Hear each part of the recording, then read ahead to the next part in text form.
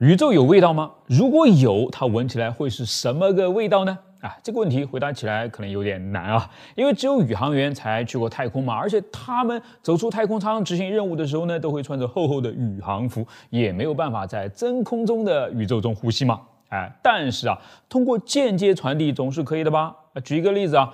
你和朋友们吃了一顿火锅，回到家里面呢，衣服和头发上还会残留着火锅的味道。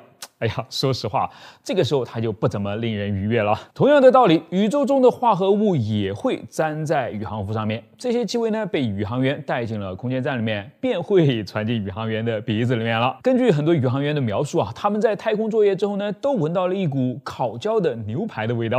德国宇航员说，太空闻起来像是胡桃与机车刹车片所发出来的味道。美国宇航员回忆啊，宇宙的味道呢很难形容，大概像是我拿焊枪的味道，是一种。好闻的金属味，而阿波罗十一号的宇航员则有不同的看法了啊！宇宙就好像是燃烧过的木炭或者是灰烬的味道。还有宇航员形容说啊，头盔脱下来的时候呢，会闻到一股刺鼻的臭氧的味道。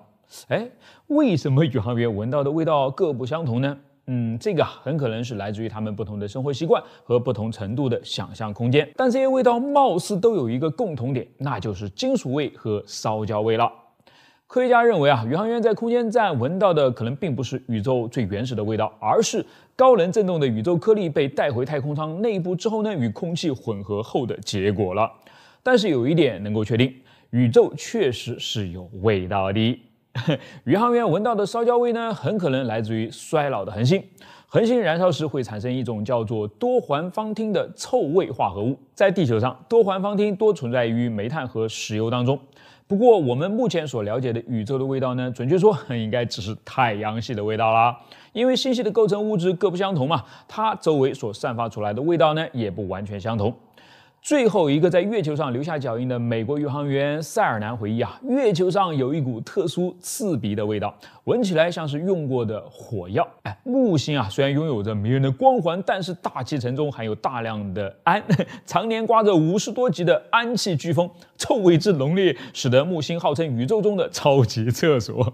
银河系的中心尘埃云人马座 B 二则含有大量的硫化氢和甲酸乙酯。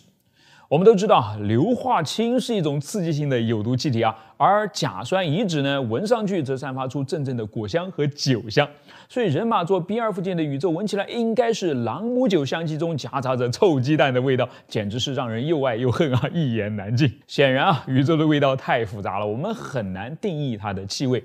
也许在某个角落，宇宙正散发着迷人的芳香；而在几百光年以外，那味道又仿佛掉进了超级厕所，令人望而却步。哎，所以你想感受哪种味道呢？